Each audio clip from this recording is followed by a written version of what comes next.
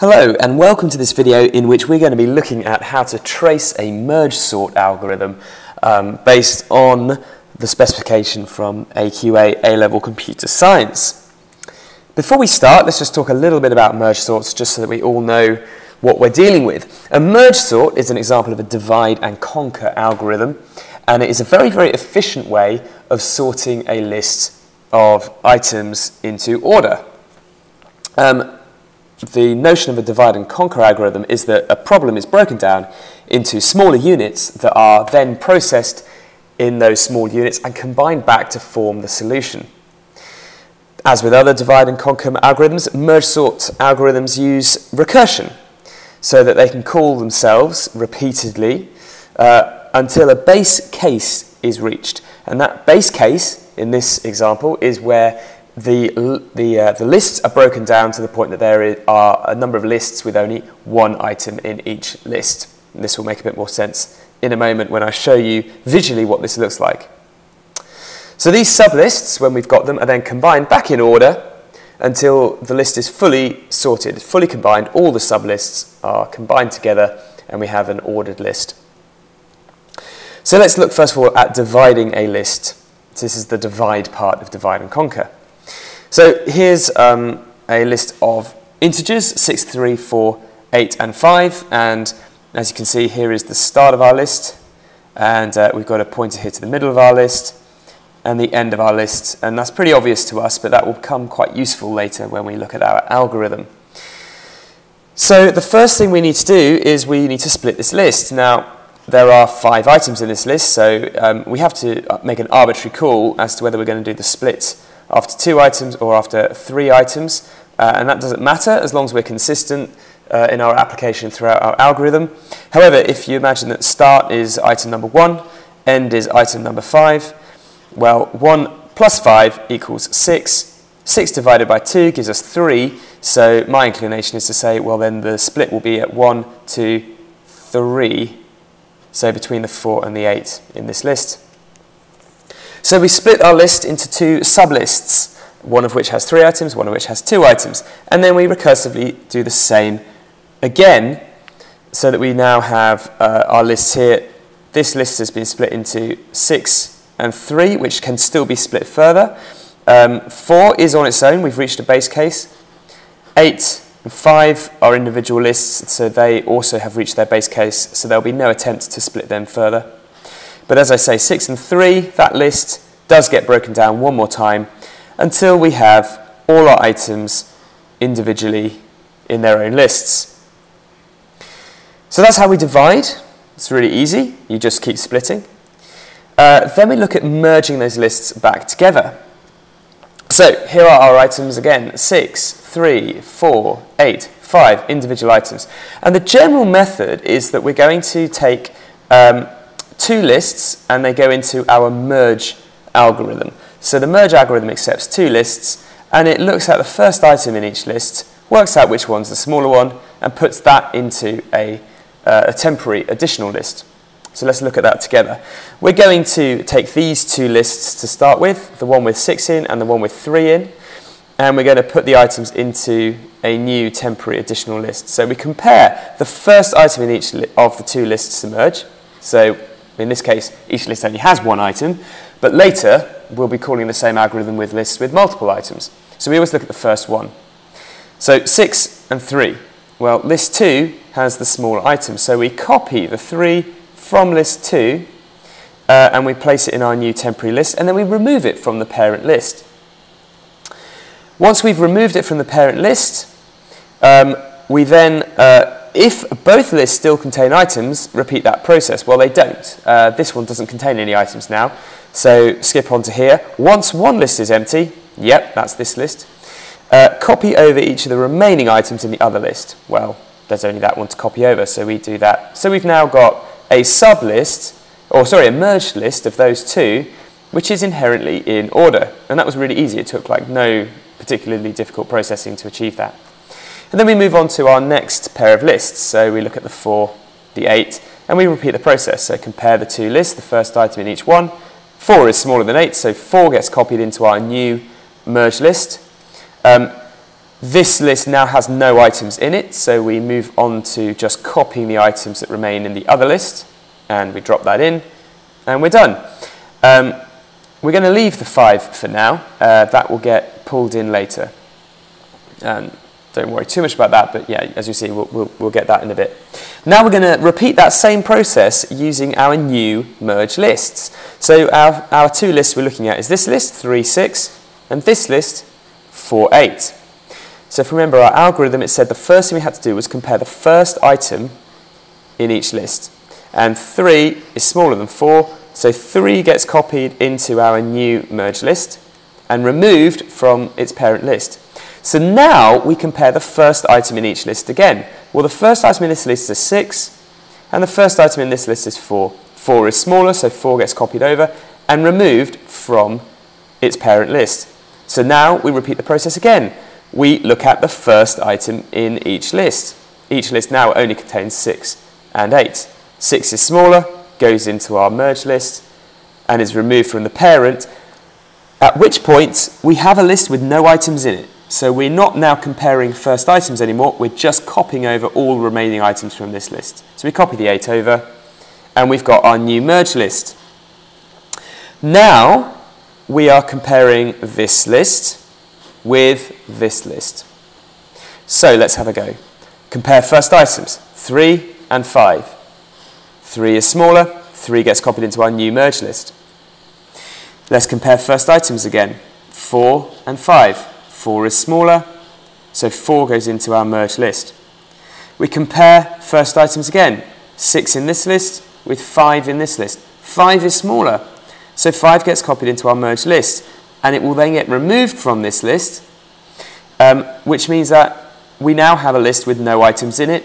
So we don't do any comparisons anymore. We just simply start copying the uh, remaining items from this list in order. So 6 goes over, 8 goes over, and now we get to the final stage where there are no items, oops, there are no items in uh, that remaining list either, so we are finished and we only have one list uh, left, so we're done. That's it.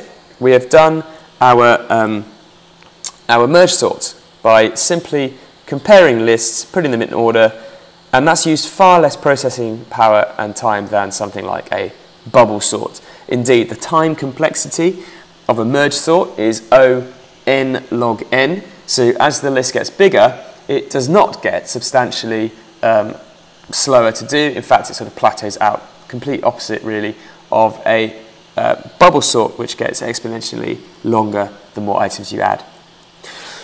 So that is the theory, and uh, and that's you know that hopefully gives you a good grounding in how uh, what a merge sort is and the process involved. Now we're going to go to looking at an example exam question, and this exam question comes from AQA's specimen exam questions for paper one.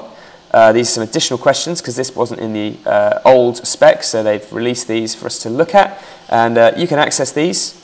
Uh, they're not hidden or, or, unavailable or anything like that, so you can, you can access it yourself by going to this URL. Um, and let's just have a quick peek at the uh, question in the paper that we're going to be looking at doing. Okay, so here is our, um, our exam paper, and it's question two in the paper. It says figure one contains pseudocode for a recursive merge sort algorithm. Figure 2 contains pseudocode for an algorithm called merge that is called by the merge sort algorithm in figure 1. So here's the, um, the recursive algorithm merge sort. It accepts three parameters. L is the list um, which you want to sort. S is uh, a pointer to the start of the list, so where do you want to start um, doing your sorting and E is the end. Where do you want to end your sorting? Uh, let's have a look. If the start is less than the end, so if start pointer is less than end pointer, then get a middle pointer, which uses div, that's floor division or integer division, so that basically uh, divides by 2 but completely ignores um, the fractional part or the, the bit after the decimal point. So if you had, for example, uh, 2 plus 3, that equals 5, div 2 would equal 2, not um, 2.5, just equal 2. Uh, so if start is less than end, we get a mid pointer, and then we get a new uh, sublist, like our left half of our list, which we get by calling ourselves again merge sort, providing the same original list, providing the same original start position, but now providing our end position, which is actually the middle of our original list. Once that has, uh, that will then keep calling this until it eventually gets to its base case. Uh, once eventually it's, it's finished its job, it returns a, um, a sorted sublist. Uh, we move on to getting our right-hand side, which again we do by calling ourselves, passing the original list, but starting at the midpoint of plus 1 and ending at the originally specified end of the list.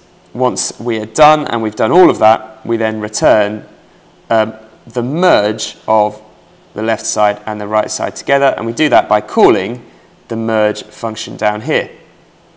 So the merge function takes two lists in, creates a third list, which is a temporary empty list, and it says while uh, the length of list 1 is greater than 0, so while there's items in list 1 and items in list 2, if, and I warn you now, this is a bit funny because um, in this particular example, AQA have used this to uh, do a merge sort that returns items in reverse order, so not ascending order. So it's going to go, it's actually going to go highest to lowest rather than lowest to highest, which every other case would pretty much be lowest to highest. So it's a bit of a tricky question, um, but you'll see why in the middle. So if uh, the first item in list one is less than the first item in list two, then append to list three the first item from list two. See what I mean? So let's say we had two lists and we had a three and a four. What we're actually saying is put the four in as the first item in that list three rather than putting the three in. So it's putting in the bigger number of the two. Once we've appended the first item from list two into list three, uh, we remove that item, that first item from list two, so it's no longer there anymore. Um, else, so if actually list two has the smaller item, then put the first item from list one into our temporary list 3 and remove that item from list 1. And that will keep looping round until either list 1 has no items left or list 2 has no items left. At which point we skip down here and we say, okay, well while list 1 has some items in it, which it might not do, but assume it does, then we just copy the first item and remove the first item. Go back, copy the first item, remove the first item, and keep doing that until we've got no items left in list 1 i.e. this is just copying all the remaining items in list 1 to the end of list 3. Um, if, however, it was uh, list 1 that got emptied first in this original while loop, then we would actually, that would never run, and we would jump to this one which says while list 2 has some items in it. Again, copy all the items. Once we've done all of that, we return our temporary list 3, which is, a, which is our sorted merge of lists 1 and 2, and they get sent back up to uh, this line here, it comes out here, so and it returns, so merge sort then returns the returned list from merge, if that makes sense. Finally, this uh, last part of uh, the merge sort algorithm here says that, well, if, um, if the start is not, it, it, we originally were saying if the start is less than the end, else, so if the start is not less than the end, uh, i.e. we're down to the point now that we've only got one item in our list, then rather than trying to split it again, just ret basically return the result of appending um, the item from the list, the original source list, which is at the start, into an empty list. So this is a way of making sure that what's returned isn't just the value of that item in the list, but is a list containing that item, because this is key. We actually have to return, for the algorithm to work, we have to return lists containing one item, rather than just contain, returning, say, an integer that represents that item. We need a list with one item in it. So um, that's what we do here. So this is the base case of our recursion. Uh, the base case is when S is equal to or greater than E. It's basically the opposite of whatever it is that causes further recursion to happen. Okay, so when S is greater than or equal to E, that is our best case. In that instance, we just return a list with that one item in it.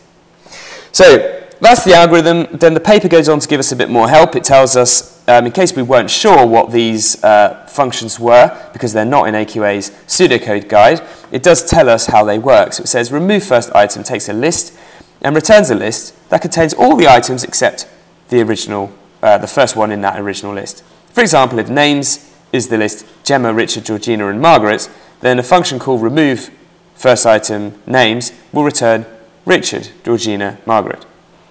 It also goes on to tell us what len does. Len takes a list and returns the number of items in the list. And it tells us what append does. The append function takes an item and a list and returns a list that contains all the items from the original list followed by the item that is passed. For example, if names is the list Gemma, Richard, Georgina, Margaret, then the function can uh, call append Matt to names will return Gemma, Richard, Georgina, Margaret, and Matt. Uh, and finally, yep, the first item in the list has an index of 1. So AQA's pseudocode does not have arrays that start with an index of 0, they always start with 1.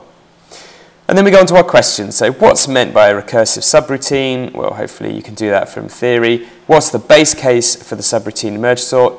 Uh, we've already said that it is the opposite of whatever causes further reverse, uh, recursion, which in this case is s is less than e. So the base case is less, uh, s is greater than or equal to e. And then here's the stuff we really get to. We have to complete the table one, the trace table, showing the result of tracing merge sort um, with a function call of merge sort, list sort 1 to 5, where list sort is 6, 3, 4, 8, 5. You may remember that those are the integers we used in our demonstration of the merge sort just now. It says that the first six rows and the call number column have been completed for us. That's really useful. Uh, what I would say in this is don't start here. Start at the beginning, uh, maybe on some scrap paper, doing it yourself, but use these six lines to check that what you're doing is the same as what AQA have done. This is really handy because it's a way of knowing that you're on the right lines before you proceed to do all the rest of it. So if you just say, oh, I'll just start here, uh, A, you won't have got into the algorithm from the right place, so you might be a bit confused as to what's going on. But B, you're forfeiting the opportunity to actually test your method um, right there in the middle of an exam. So always start at the beginning yourself, um, using these lines as a bit of a test case to make sure that what you're doing is, is what you'd expect to happen. So this is what we're going to do now. We're going to go through the algorithms and complete this trace table ourselves, having a look at um, what happens at each stage. And we're also going to keep, we're a bit mindful because I've looked ahead. Um, the very end of this, we're asked to explain why there are three occasions when there will be four stack frames on the stack when the subroutine call merge sort list sort 1 5 is made. So as well as completing this, the trace table, I'm also going to keep a little representation of what's on the stack so that we have an idea of um, how to answer that question later. Right, let's get started. So here we've got um, the list to sort that we're sorting. It's 63485. We've got our subroutine call that we are supposed to be doing the trace table for. So the trace table we're doing is for merge sort. We are not doing a trace table of merge. We're doing a trace table of merge sort. Okay, keep that in mind. And uh, we passed these parameters or these arguments to our parameters. List to sort is L. 1 is S, and E is going to be 5 when we first call it. So the very first time we call merge sort, in fact I might just use my little laser pointer to help us. First time that we call merge sort is going to be call number 1 to merge sort, and we're going to have the values S is 1, E is 5, and we haven't yet worked out M, so let's pop those in. And you'll notice as we go through this a little indicator showing where we're up to.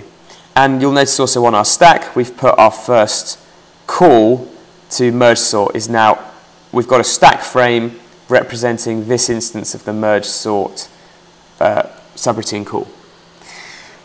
So, we're on call one, S is 1, E is 5.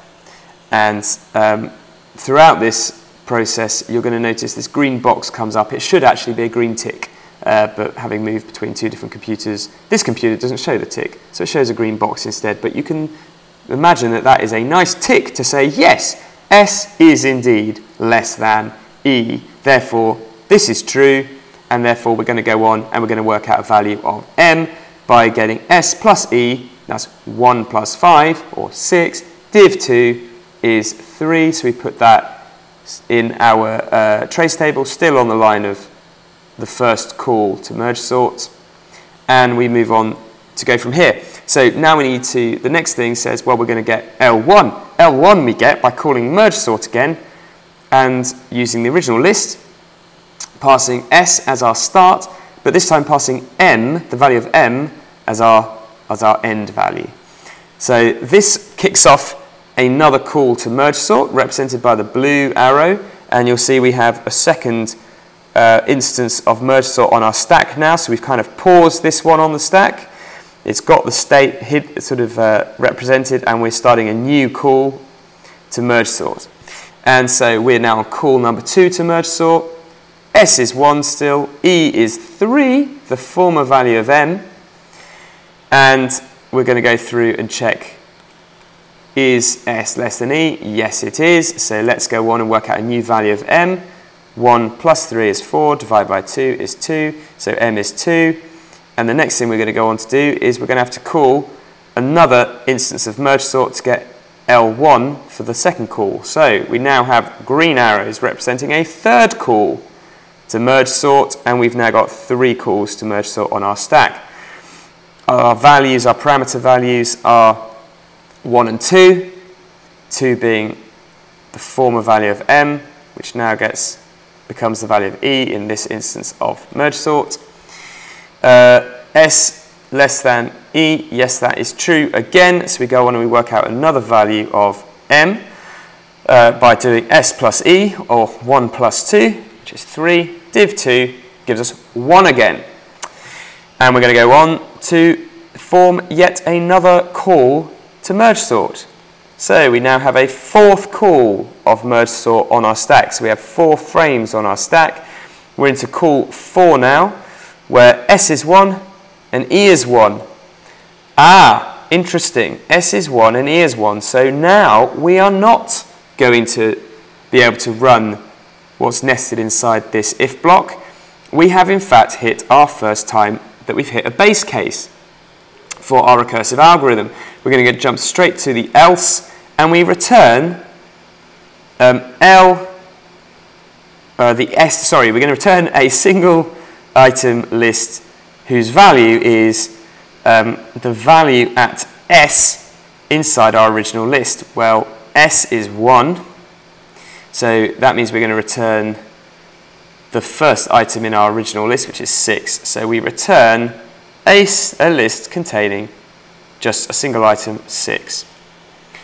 Um, because we've now returned that, we've finished that call to the fourth, uh, fourth instance of merge sort. It comes off the stack heap, and execution returns back to the third call. So we now are back in our third call, so we rewrite call 3, and we copy down our values from before, S and E and M, and actually we can identify that the returned list from the fourth call is actually the value of L1 for call 3 because it's, it gets returned here to L1 for call 3.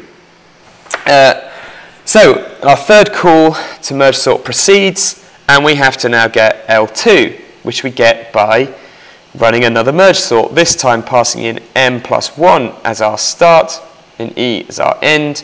So that starts a fifth call to merge sort, which sticks on our stack heap again. So now we have four items, four frames on our stack heap, the fourth of which is the fifth call to merge sort. So we write in here, call number five, S is two, because it's m plus 1, where m previously was 1, so m plus 1 is 1 plus 1 is 2. End is whatever it was originally for uh, our third call, which was 2. So we've now got a situation that we're running merge sort where S is 2 and E is 2, which means that our if block does not run, and we go straight back down to, we're in another base case, and this time we return item 2, because S is 2, item 2 from our original list, which is 3. So we return a list with a single item, 3. Because now we're returning that means we've reached the end of this call, so this fifth call comes off our stack, or at least it should in a moment. And um, what we can do is we can say that actually we're returning, sorry, before we, it comes off our stack, we might just say the fifth call returns the value, single item 3, and that is L2 for call 3. Okay, that falls off our stack. And we proceed to continue running call 3. Call 3 now gets to this point where it has to return the value of the merge function for its lists 1 and 2, which means it triggers off a whole new load of processing down here on the merge function. So we've now got four items on our stack again. We've got three instances of merge sort, and we've got one instance of merge, which came from call 3 of merge sort. So we've still got four items on our stack. And let's now proceed to trace or to think about what happens inside merge sort. Well, merge sort runs. It creates an empty list called L3, which we're going to represent up here. And it says while list 1 has more than one item, yes it does, and list 2 has more than one item, yes it does. Um, we go on to look at the values in there. Is the first item in list 1 smaller than the first item in list 2? Well, first item in list 1 is 6, and the first item in list uh, 2 is 3, so no, that's not true, so we skip straight on to our else. And our else tells us to put the first item in list 1, which is a 6, into L3. Then it tells us to remove it, so I've done a little strike through, so it's not there anymore. And it goes back to the start of the while loop. And it says again, while um, list 1 is greater than 0. Oh, it's not anymore because it's got no items in it. So it's not greater than 0. So we go all the way to our next while list where we say, well, while list 1 has more items than 0, no it doesn't. So it goes to our next while loop. Okay, while length of list 2 is greater than 0. Yes, it is. List 2 still has one item in it. So this while loop can run and it tells us, okay, append the first item in list 2 to list 3, which we do up here. And we then go on to our next line, which is remove that item from uh, list 2, which we'll do. And by removing it, uh, we'll then try and run that while loop again, but we won't be able to because there won't be any items in it. So we get all the way down to the bottom of our merge sort where we return temporary list 3. So list 3 is now returned, which means we can plonk it in here um, returned list for call 3, because remember it was merge sort call 3 that ran this uh, subroutine of merge. So our execution of uh, merge is finished, so it comes off the stack, and we return execution to here, where we can now write our returned list is 6 and 3.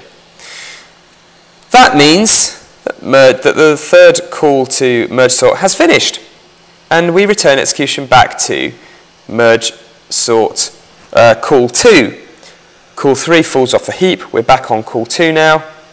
Uh, so we put all the requisite values for call 2 back in our trace table. We just copy them down from the last time we saw call 2, which was up here. So we're in call 2, S is 1, E is 3, M is 2.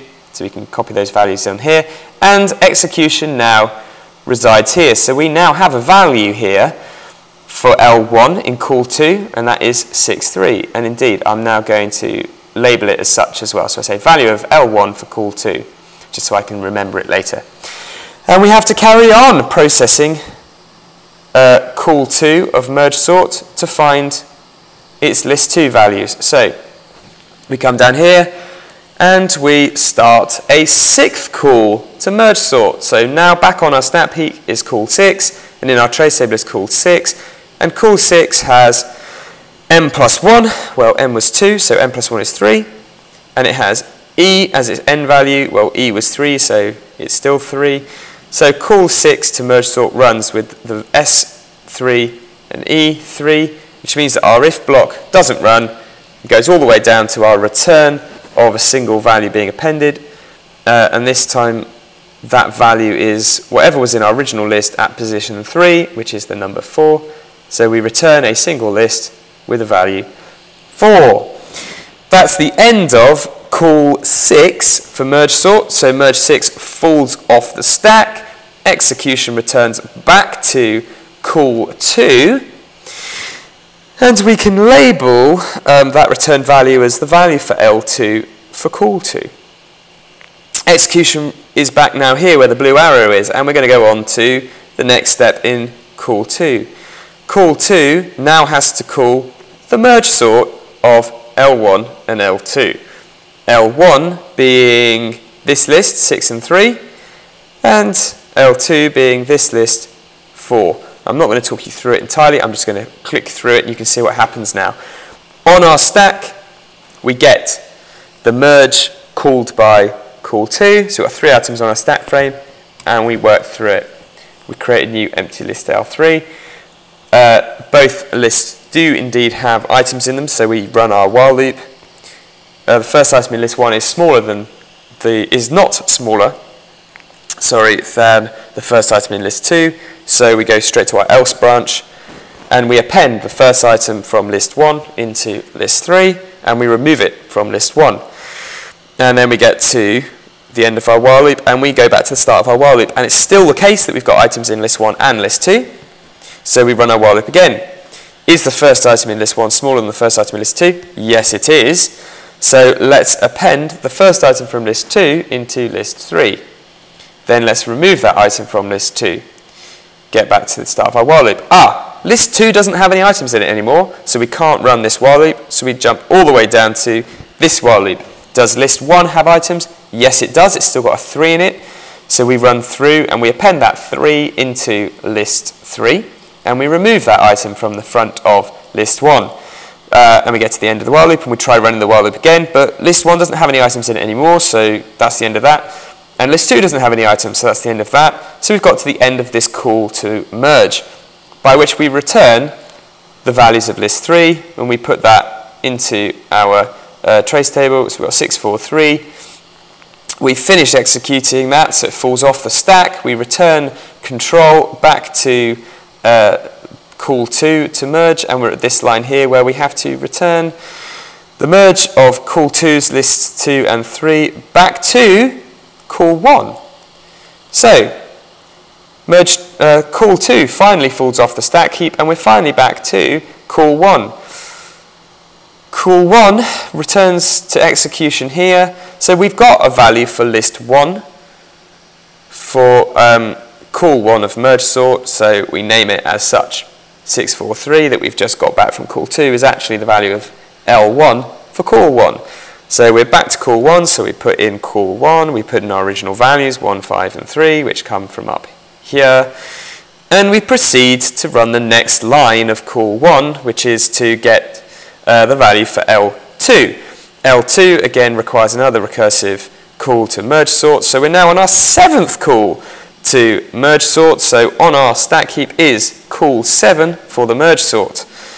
And for this call, S is 4 because it's m plus 1 and m was 3 when we were in um, the first call so it's 3 plus 1 is 4 e is 5 and that carries on so we've got a call to merge sort where s is 4 and e is 5 which means that s is indeed less than e so we go on we get a new mid value this time that mid value uh, 4 plus 5 is 9 div 2 is 4 so the mid value is 4 and we go on to make another recursive call to merge sort. So now sitting on our stack is an eighth call to merge sort where S is 4 and E is 4, which means that our if statement does not run. We are in our base case and we append back the fourth item from the original list, which is 8.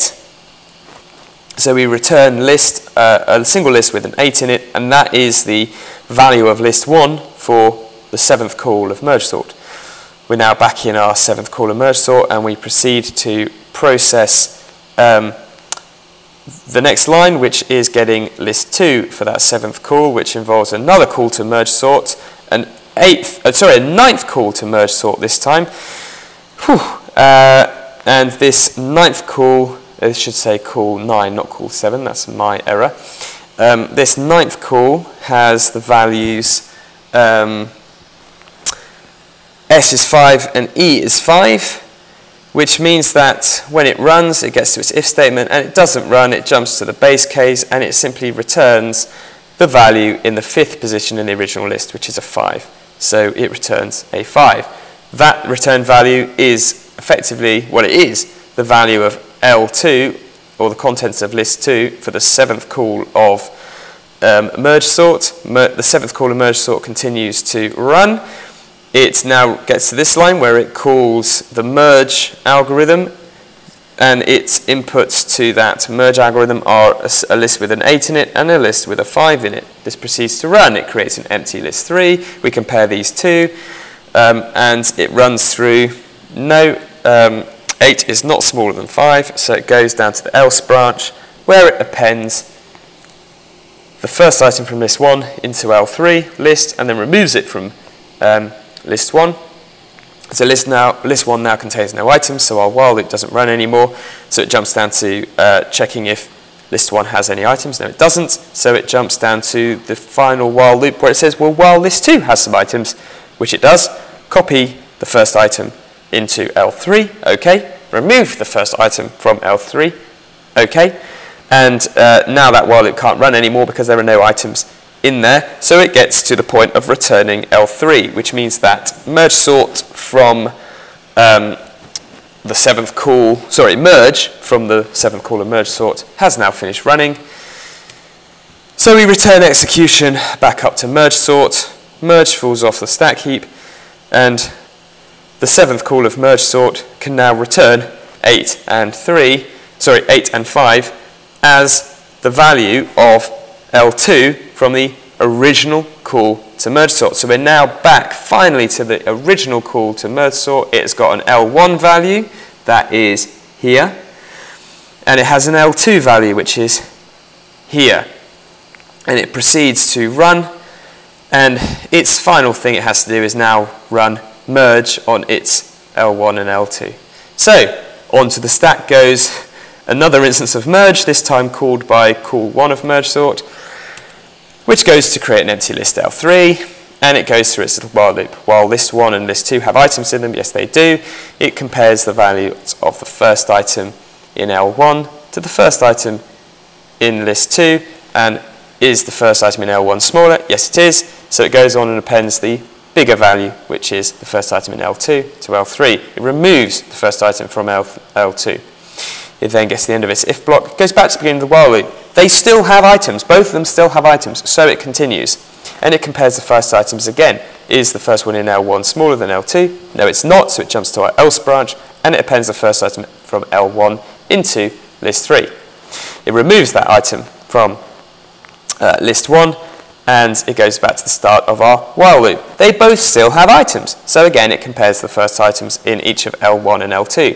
L1's first item is a 4, L2's first item is a 5, 4 is smaller than 5, so we go on to run this, uh, this if block, and we append to L3 the, the first item now in list 2, which is a 5. We also remove it from list 2, and we get to the end of our while loop.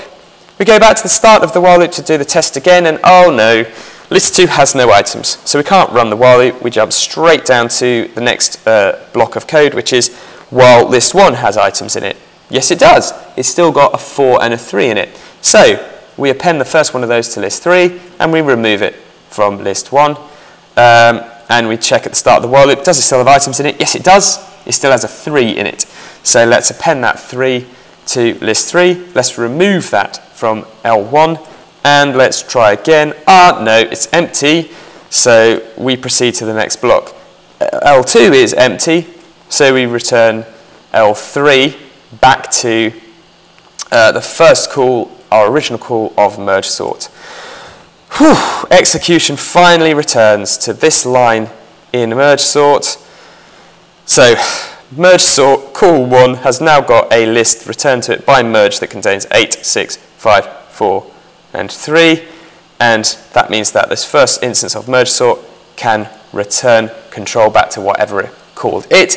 It comes off the stack heap and we are finished. We have completed our trace table. We have nothing left on the stack heap.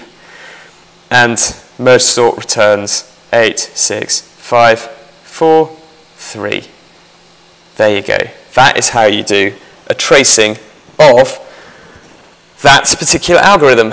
And if they give you that in an exam, it will be hard uh, to keep in your mind where you're up to, but you can do it.